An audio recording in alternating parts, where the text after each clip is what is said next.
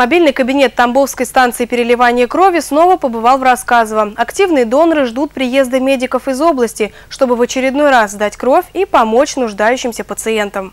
Мобильный пункт переливания крови приезжает в районные центры области. У доноров не возникает проблем, как добраться до стационарного пункта в Тамбов.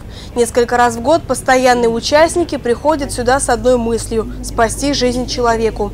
В крови нуждаются не только больные люди, но и женщины в родильных домах. Биологическая жидкость проходит лабораторные исследования, после чего применяется в медицинских целях.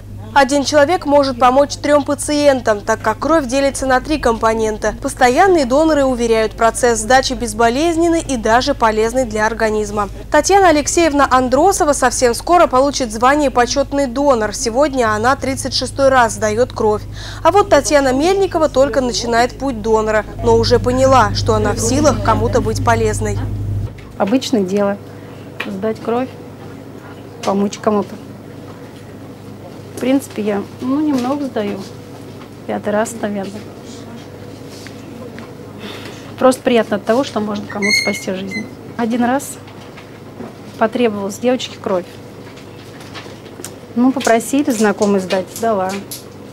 Донорство стало безвозмездным, но тем не менее после сдачи крови человеку полагается компенсация – около 300 рублей на обед. А у жителей Тамбова есть выбор – пообедать в кафе за счет заведения, либо забрать денежную компенсацию.